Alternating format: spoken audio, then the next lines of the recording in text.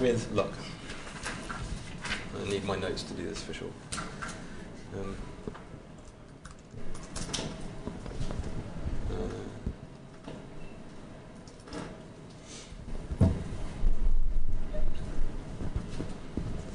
So we're going to make a tracking loop.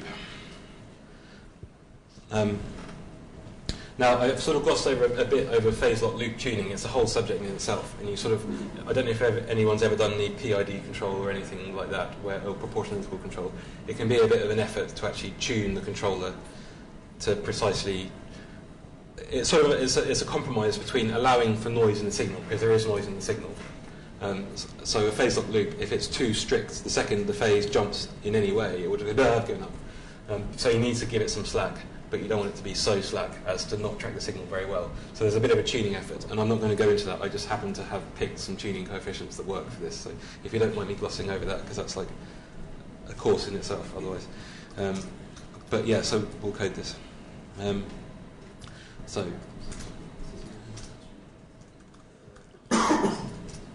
Um, so this is being passed. Uh, the satellite number it wants to track uh, the data, the data stream coming in of, you know, from the ADC and the radio. The initial Doppler, which we get from the acquisition loop. So remember, that's, that's the acquisition loop is fairly coarse, and we're going to try and home in on it with this and, and follow it. So that's the initial guess of the Doppler, which we got from that pretty 3D graph. And there's also going to be an initial guess at the code phase, again, which we get from that um, pretty graph and the center frequency, which was 3 point whatever megahertz it was um, before. Um, we're going to, because we want to get the navigation data out, uh, I'm going to pre-allocate um, uh, uh, an array, a list of numbers, which is going to be the navigation data. Um, so I'm just going to fill it with zeros for now. Um, uh, and it's going to be the same length as the, the, the data coming in um, uh, but divided by the millisecond by millisecond sample length, um, which is 12,000. So in fact, I'm just going to be really naughty and define a global variable. Sorry. Um, so, um, we need to first of all generate the CDRM number with that function we defined earlier that generates the, for the relevant satellite generate CA code sat ID. So that just makes the 12, uh, the 1023 bit long thing, and then we've got to stretch it out uh, to the right length depending on our sample rate, um, which I'm assuming is 12 megahertz. Um, so we're just so that's just going to stretch it to 12,000 long from 1,023 long. Um, initially, uh, the carrier phase is, it's not going to know what the carrier phase is initially, so I'll just call it zero. Um, the local oscillator offset is going to be a term we use uh, to feed back into the local oscillator to um, uh, relative to the center frequency, and initially that's our guess at the initial Doppler. Um, the code phase is going to be initialized as the initial code phase again, which we got from the acquisition part. Uh, Oh yeah, thank you. Thank you. Um, the code. Uh, this what I'm about to type looks like the kind of thing I would have written at three in the morning and changed my mind about, and but I don't want to risk going against my notes because otherwise I'm lost. So, um, oh no, no, no, I think that's okay. I think that's okay. Um, so the, these are basically just initializing a bunch of things we'll need for the feedback loops. We're not using them yet. We're just initializing them um, low fric integ integ equals uh, init Doppler 2. So, um, we, we could, this could be being passed an arbitrary length of data, say a minute's worth or whatever. So we're going to uh, split it up into little chunks of a millisecond, which is what our loop works on. It works on millisecond chunks with all the sort of integration and summing and correlation. So for i, uh, so split into millisecond chunks. Uh, for i in range um, int uh, laser size sample length So that's going to split it into re- the relevant chunks. Um, uh, uh, offset equals i. So this is going to find the, the right bit in the uh, data term. The, where it's going to find where we are in the data term for, for which bit uh, which bit of the large amount of data we're analysing this millisecond. I'm going to call that the bit we're analysing this millisecond. I'm going to call the signal chunk, and it's going to be uh, extracted from this global big uh, array of data. So it's going to go from the offset point to the offset point um, plus sample length. So that's just basically making the relevant chunk of 12,000, which is going to loop through that whole length of data. Um, uh, so, um, so the local oscillator frequency is going to be the center frequency, i.e. the nominal satellite frequency, um, plus the local oscillator offset, which we remember we initialized as the initial, so that's basically the initial Doppler. Um, so it's going to set the local oscillator frequency to the right absolute frequency. Um, say again? Uh, yes, I do, thank you. Pardon? That one? I've, I think I've done camel case. Or you defined it as star. Oh, thank you. Right, thank you. Thank you very much. Oh dear. Thank you. They always say you lose like 30 IQ points when you're standing up in front of people. It's tricky. Um, so, uh, so that's going to be uh, the, the initial offset, isn't it? Uh, so that's basically telling the loop to start looking at this frequency, which is, t- is taken from the acquisition algorithm, and then go from there trying to track it. Um, the local I, the local oscillator for I, and the local oscillator for Q. And um, because we're trying to track the phase here, we need to know exactly the phase of where we last left off from chunk to chunk, so we can hand over to the next chunk, so we can start the carrier wave in exactly the same phase. Otherwise, its phase, uh, the phase won't be continuous, and that will stop the phase lock loops from actually working. Um, so, uh, is that right? Yeah um, sample length. Um, so this is this is generating the local oscillator. That's all this function does. It makes a, a, vector of i and a vector of q, which is the sine wave and the cosine wave of the frequency you ask it to, and starting at the phase you ask it to. Um, uh, phase set is equal to uh, carrier phase. Yes, which um, which we initialize as zero because we don't know what it is yet. So that's as good as anything else. Yep, I'm so inconsistent, I'm sorry. Uh, uh, what shall I go? I'll fix that one because I'm being camel case, aren't I? Um, uh, so, so now we uh, have to generate the early, late, and prompt pseudo-random codes, um, which is easy enough. So the pseudo-random number early is going to be equal to uh, this function which just rolls code phases. Um, that's the global pseudo-random number. Uh,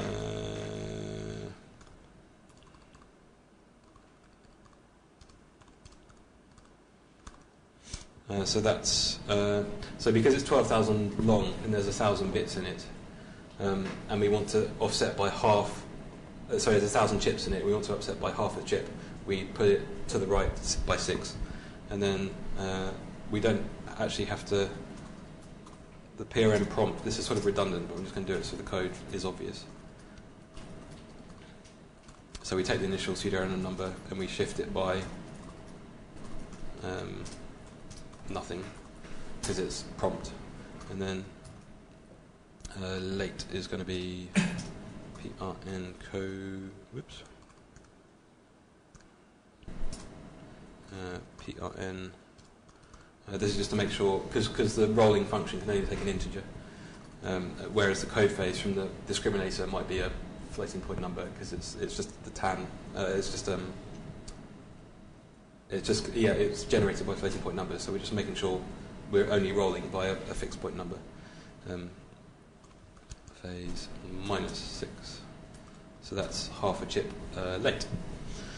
Um, and then we're going to um, mix. So now we're mixing down, which is the multiplication with I and Q. Um, so now the base band I is equal to the signal chunk, which is the relevant millisecond of data coming that we've got from the analog to digital converter, um, times by the local oscillator in I phase, and the baseband Q is equal to the signal chunk times by the local oscillation in the Q phase. And I've just dropped back to this diagram just so you can sort of stay, see where we are in the diagram still. So we've just those two lines I just wrote are just multiplying this incoming signal down by the local oscillator in the I phase. So now we've we've generated the bit going into here, and then the Q phase is the bit going into here. So the next thing we're going to do is do this early, late, and prompt stuff, and then the um, summing them all together. Um, so um, the early bit is going to be numpy.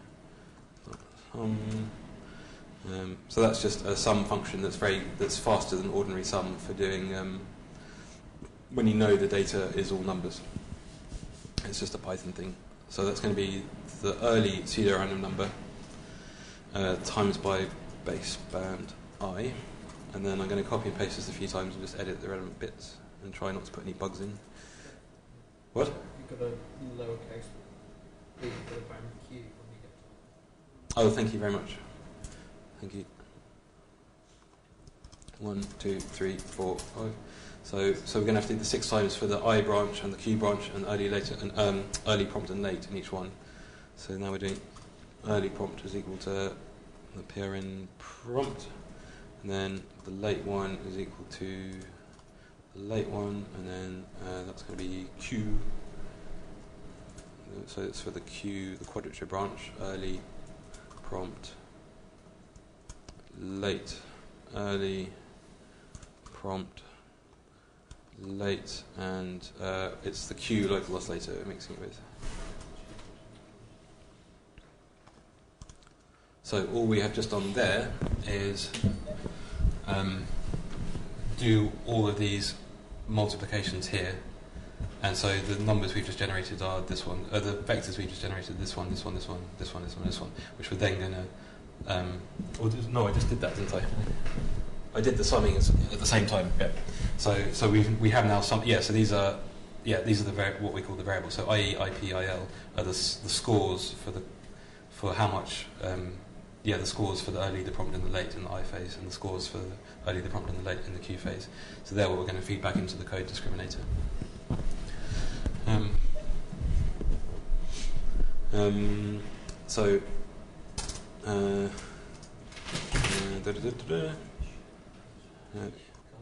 huh? Um, don't want to push you or pressure you again. I'm into the last five ten minutes. That's fine. Yeah, that's okay. Cool. We've got, we've got it out by that hours, so- Okay. I'll be yeah. We're, we're getting close. It's exciting for me. Pardon? Yeah, we are going to decode it. We're going to get the navigation bits out. Um, so code, um, uh, uh, code. Dis, uh, da, da, da, what am I doing? Yeah, code discriminator. So that is equal to. Um, it's I'm just it's just this thing, which is basically a glorified version to deal with the I and the Qness. A glorified version of late minus early, that delay lock loop thing we looked at earlier. So it's, it's just, that if you were to sit down and stare at this for a while, you'd see that would make sense. It's just doing the same thing as early minus late or late minus early.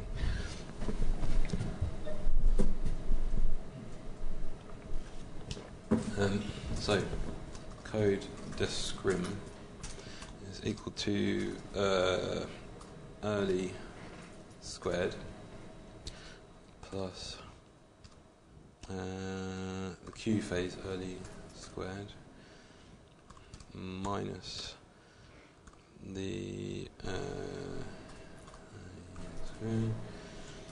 plus the Q early squared.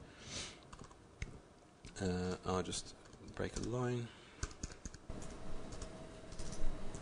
Um, uh, divided by no, let's go over here. Divided by um, uh, the early squared plus q squared plus um, squared plus q. That's the code discriminator. Uh, that is that right? Yeah, that's fine. Um, and then um, the local oscillator discriminator, discriminator, so the carrier frequency discriminator, which tries to find out what the phase error is. Um, uh, that was the tan thing, so that's quite easy. Arc. So arc tan is the same as tan to the minus one, and that was the Q prompt uh, divided by the I prompt. Um, and then the feedback loop. Um, this is the thing that I'm just uh, just sort of going to fudge slightly in that I've already worked out. I've already found. I've already tuned it approximately good enough to get some navigation bits out. I hope. Uh, so basically, we're adding. Uh, what we found out was the code discrimin- uh, the code, the error in where the code was positioned to the code phase term, or the code phase integral term, but um, we have to multiply it down a bit. Um, code phase. Code um, plus code phase integral term. So that's just the phase lock loop for one of them. And again, these numbers are just to do with how you tune it to sort of be a bit lax but be good enough um, instead of blindly following the signal um, completely. And then, um, uh, and then we need to do the uh, feedback loop for the um, uh, for the carrier frequency. So we've just done the code one, and now we're doing the, carrier one. Oh, so this is the filter bit. So this is the phase lock loop basically. This is deciding, taking the error and deciding precisely how to shift this in order to best track the signal. Um, and that's going to look like frequency integral term. It's going to be uh, it's going to be uh, local oscillator discrim times by 4 and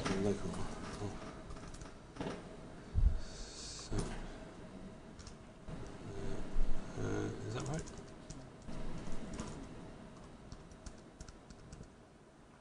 Uh,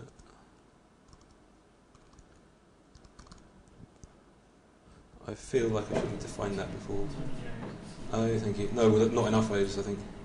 It's local oscillator offset, is what I'm trying to write, but I just can't. Um, uh, oh no. Oh yeah. Um, uh, have I missed any other? Have I spelt it wrong anywhere else? Anyone can see? Okay. Um, it's equal to the local oscillator discriminator output times by 20 uh, plus the local oscillator frequency integral term. So, um, all being well, uh, no, that's. Uh, say again? I think I've just set it in an absolute way rather than adding it.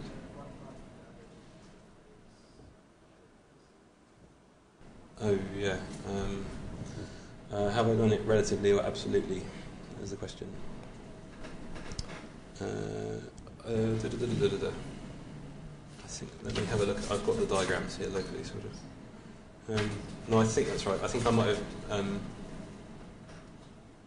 I've possibly. I, I, I did a prototype run of this code very early in the morning, so I've possibly done absolute tracking and relative tracking in different codes. So sorry about that.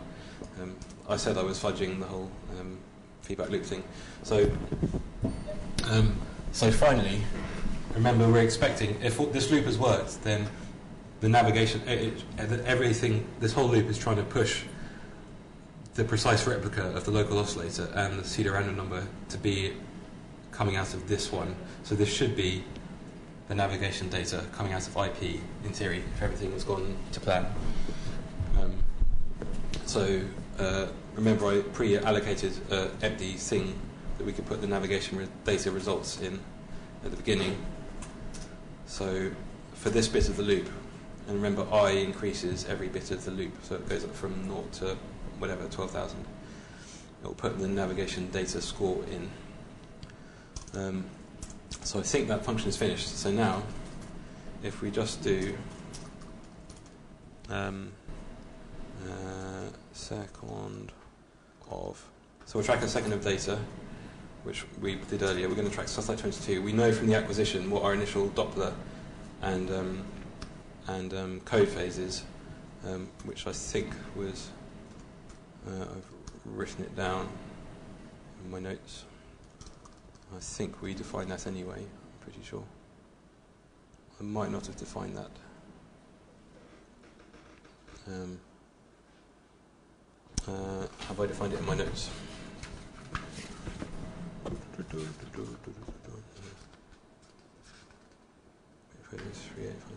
No, that is right, I think. Um, yeah, I think that's right. Um, send uh, freak.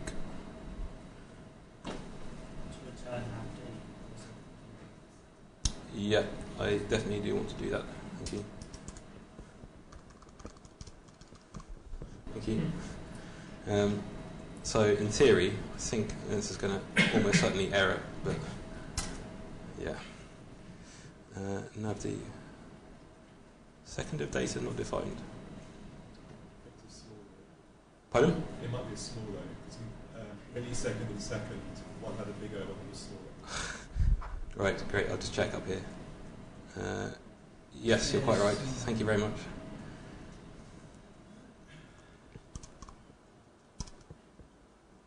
No, code phase is not defined. Um, I think I probably put it in my notes from the acquisition because uh, I didn't extract from the acquisition what it was, did I? Index is 3857. So I, I think, if I've got this right,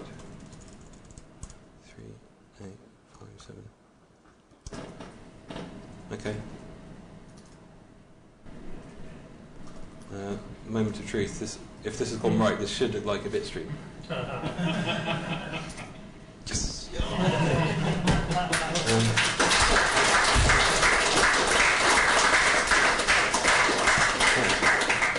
Anyway, okay, so, so now that's how you get a GPS bitstream. It's really easy, isn't it? And, um, and so from there, that is basically just some bits. So you can look up in the, um, in the protocol what all the bits mean, and it's basically just how, where the satellites are in orbit and how you um, can, what, so for example, there are sorts of lots and lots of little things, like for example, the time it takes a signal to get to you is not just the geometric distance between you and the satellite, it's slightly changed by the ionosphere. The ionosphere changes every week, so there's like ionospheric correction factors, and just a whole load of bump you can go through the manual and code it up. But the important point is you've got the bit stream out from this thing hidden 15 dBs beneath the noise floor. And so, um, so the rest is easy. So anyway, that's the basics of GPS. Thank you very much. Any questions?